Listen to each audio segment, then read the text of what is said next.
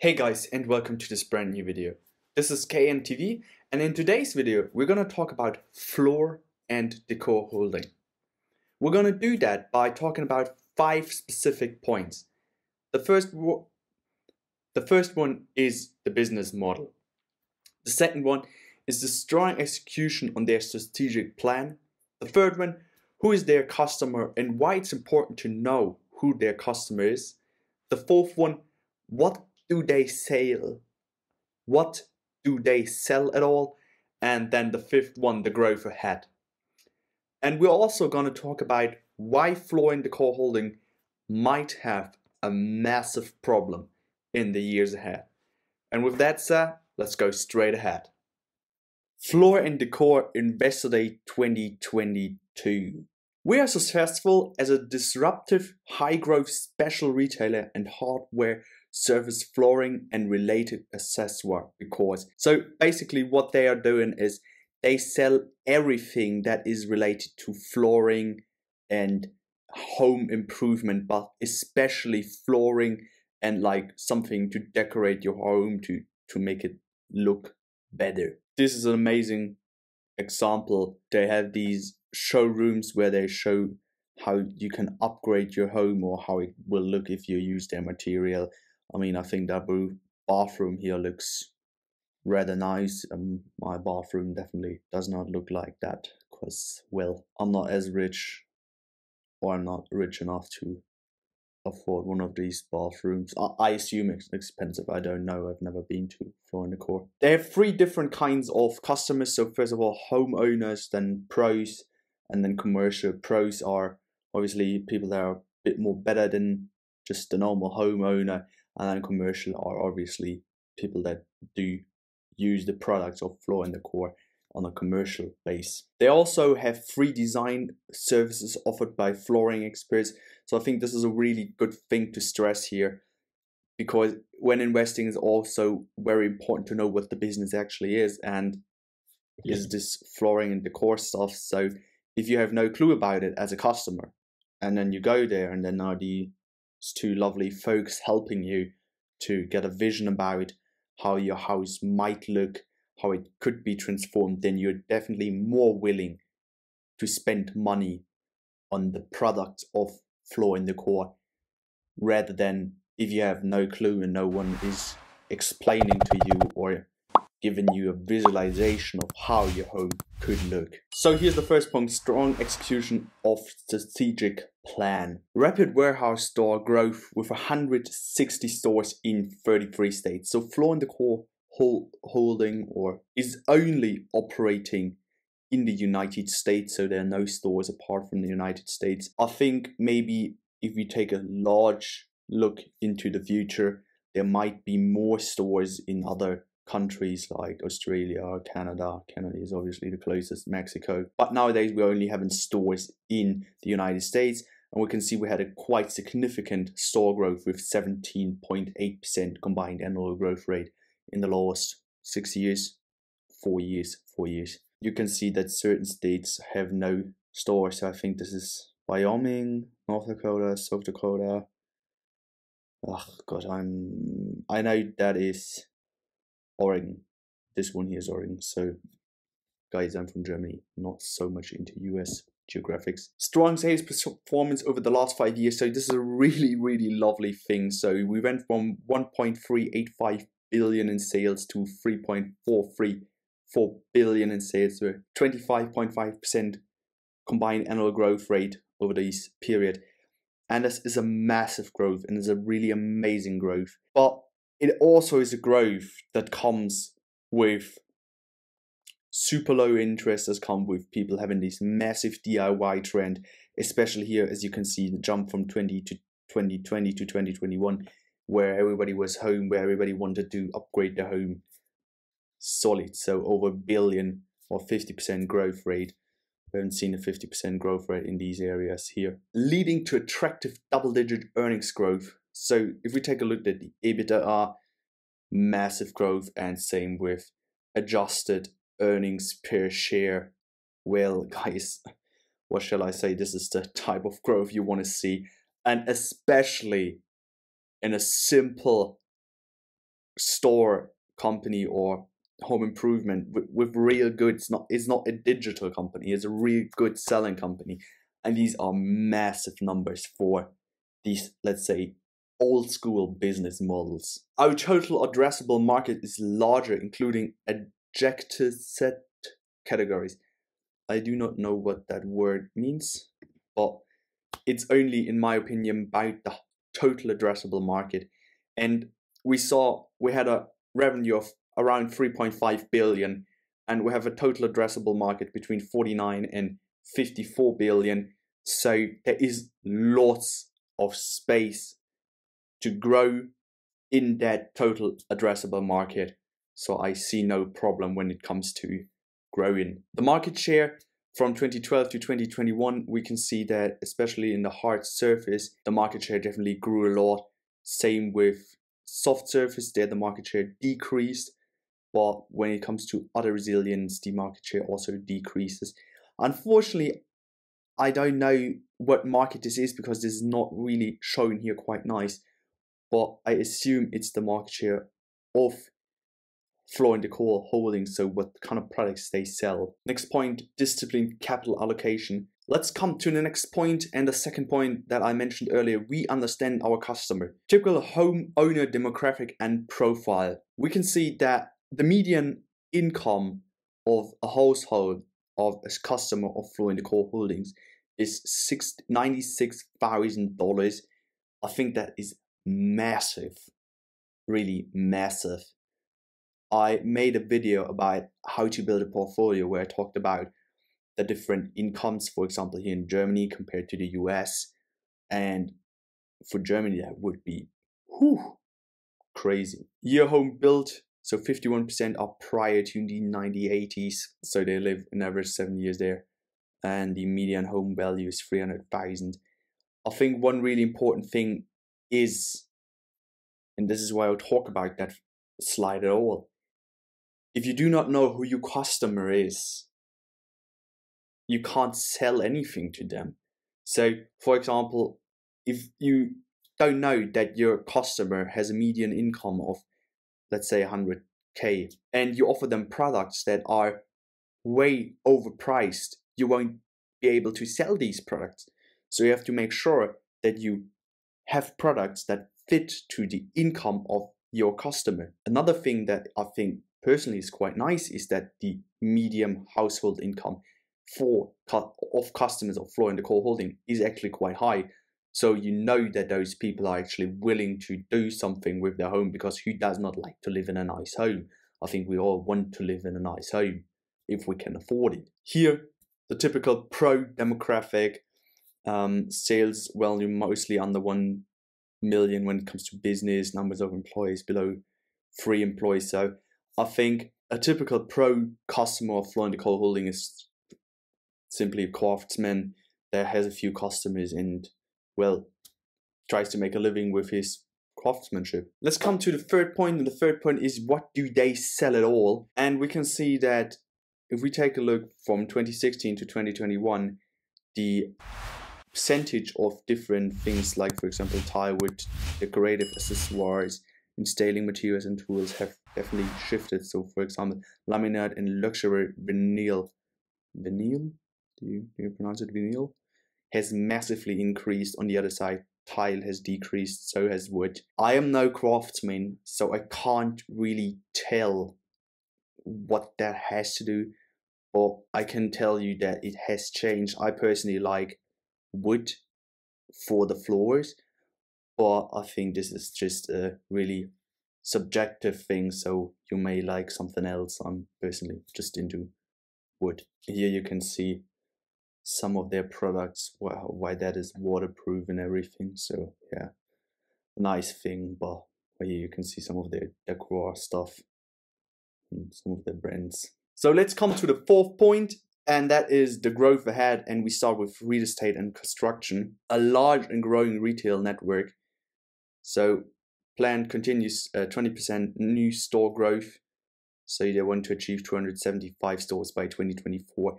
When it comes to those numbers, guys, I'm a bit skeptical. As I said at the beginning of the video, I think Store Decor holding, Floor & Decor holding has probably a large problem, and this is raising interest, and it is high inflation, and that is those two things lead to consumers not spending as much. Pretty example: if you have these ninety six thousand in income, and then suddenly everything gets more expensive. Sure, you can you you can still afford it, but it's not as easy as it was years ago, where you could just be like, yeah, here's cash. So now money's a bit tough, so you won't necessarily upgrade your home every two weeks, will you? So I think that store growth might be a bit too positive, but if they continue to do that, super, I like it. So they have 160 stores and they assume that they can open another 340 stores, so they have 500 stores in total. And this is just such a prank, in my opinion. So 68% of the US population live within 95 minutes, so an hour of the Floor and Decor store. Here in Germany, no one, no one would even think about driving an hour. So I would never drive more than 20, maybe half an hour if I have to go to a specific store, but never over an hour. But sure, in the United States, things are a bit different because you're larger, bit, bit larger. Yeah. New store development. So you can see a new store being built there. This is a really interesting slide. What we can see here is from 2011 to 2015, a net investment in a new store cost around 3.5 million. Now we're up to 8 to 10 million, and the majority of that is capex. The year one sales back then they were 9 million, now we have 14 to 16 million. The one year EBITDA grew from 0.9 million to more than 2.5, and the three year EBITDA to from 2.9 million to over 5. In other words, that means that in the third year, 50% cash return on the money that you invested. If you ever wondered how you will get rich, that's the way. That is the way you will get rich. Average new store cluster target, so 25% 20 year return on invested capital. That is really impressive in my opinion, really impressive because, well, it's just a cash cow. It's a ridiculous cash cow. Just the, just the first and third year are almost, so after three years, the, the, the whole store is paid off after three years, it's only profit, profit, profit, profit, profit, profit. And let's assume they run it for 20 years, then you have 17. Maybe you do some, you, you, you use some money for repairments, everything, let's say 15 years, just profit. That is unbelievable. Real estate strategy for future growth. They build these massive warehouses all over the place. Um, one thing I personally do not like is why is there no solar on the roof? Literally.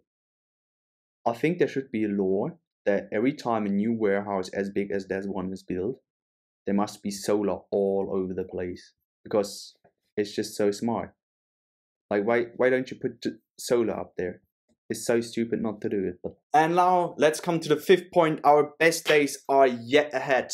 Strong track record under current management. So they assume they the sales growth. So from 2012 to 2021, this massive 10 times growth. Then adjusted EBITDA also massive growth, 15 times growth. So this is unbelievable. Macro and changing consumer trends underpinning demand, aging housing inventory, rising home equity values, record US wealth, blah blah blah, is all true. Um, so there are a lot of positive things that lead that, that, that give them that push them up so that what do you call it? If like the wind is coming from the back like if you're sailing and the wind coming from the back it makes it easier. It's the same here. But there are two things in my opinion that makes it really hard for them and that is rising inflation interest rate and existing home sales and affordability. I mentioned that in my video how to build a portfolio. If money is tough or if money is small on a monthly base you you you simply won't upgrade your home. In the last 10 years, we had super low interest, money was all over the place, and now we're going from quantitative easing to quantitative tightening. So I assume that in the next years, people will definitely rethink whether they spend a lot of money on their new garden, floor, pool, whatever. But in this case, especially on their new home. Here is this massive total addressable market. Yeah, sure, it's a massive market, but again, if people don't want to spend, maybe they want to spend money, but they can't. Because before you upgrade your floor, again, you make sure that there's food on the table. Otherwise, you won't care about the floor, will you? Continue 20% warehouse format unit growth. So this is their goal of these 500 stores. Let's see whether they reach the 275 in 2024. Building blocks to three year 25% plus operating income. So on the left, we can see where we are right now. Then the existing store growth, the new store growth, the investments. So they assume that in 20, 2024, we will end up at 700, 670 to 700 million in income. I would love to see that, but again, I'm pretty skeptical. And as they da- right down here, does not con- contemplate any potential impacts from the war in Ukraine, and I think those impacts might be massive. One thing that I love about Floor and Decor is low leverage allows for growth investments. They are really, really low in leverage. I hope they stay that way. They have even been cash negative when it comes to um, debt. So the red is the net debt. So in this case, minus is that they actually have cash. I think this is a really, really positive thing. Expect negative free cash flow in 2022 and 2023. This is, I, I assume, to their massive investments and modest positive free cash flow in 2024. Super fine with that. I think when it comes to Floor and Decor holdings, because we're talking about numbers, they're not paying out dividend, they're not buying back shares, they're not doing anything like that, but we'll take a look at the share price in a sec. But maybe they should rethink that massive growth strategy with these new stores. Because again, I think the influence of the Ukraine war with food pricing going up massively, with oil prices going up massively, I think consumers won't spend that much on housing upgrades in the near future. But guys, I might be totally wrong. So anyone predicting the future is an idiot. So I am an idiot as well. It's just my opinion, but beware, I can be totally wrong. Don't take it too serious what I'm saying. Disciplined capital allocation to drive high return on capital. Here we can see uh, new stores, then distribution centers, technology, existing store. Yeah, I love it if business comes first rather than share buybacks and other things. And what I love about that, nowhere here you can even read dividends or share buybacks. So this is one thing that I really, really love about Floor and Decor Holding is they're not talking about these share return, blah blah, whatever. They're talking about the business. I love that. I really, really love that. First of all, the business. Second, third, even fourth, shareholder satisfaction. Business first. Here are their key acquisition criteria. I think they've not acquired any companies in recent times. And what I really love about Floor and Decor Holding, just one more thing before we go to the share price, they talk about the risk, not only about the opportunities. Here we can see inflation, supply chain, disruption, gross margin. Supply chain is a massive problem. Then interest rates rising and housing turnover. Yes, employment and wage growth. Yeah, so I think um, there are lots of risk right now. And with that said, let's go straight to the trading view and we can take a look at the share price. And here we are, we can see that Floor and Decor Holding went public somewhere in 2017. Since then, the stock has been a rather nice, nice performing stock. Up here, 130% to the all-time high, almost 400%. So yeah, I think you can't really complain. Literally always beat the EBIT, uh, the earnings expectations apart from here. Um, but as you can see, the stock is definitely down from the all-time high up here. As literally any stock is from November down. So we're already down 50%. Now we have a market cap of around 7 billion. By the way, I know most of you haven't watched the video till here, but do you want me to talk about market cap and numbers and all of that earlier in the video? Or do you is it all right for you if I talk about it at the end? Because I certainly don't care that much about market cap and everything. I I really care about the business, and that is for me the important thing. Rather, because with financial engineering, I think, in my opinion, you can do so much. A feedback about that topic would be nice. I'm not invested right now, and I'm not buying any stock. I'm not selling any options. I'm not buying any options simply because never catch a falling knife. Let's see how the whole thing turns out. Now, yeah, the market opens in nine minutes. Today, by the way, is May 19th. I will upload this video maybe tomorrow, latest next week, Tuesday. That is the 24th of May. Let's see how the market has performed till then because as you can see, yeah, SPX is already down again a bit, so we'll see. With that said, guys, I really hope you liked the video. Please leave me feedback, consider subscribing, maybe even thumbs up. With that said, see you soon, guys. Bye.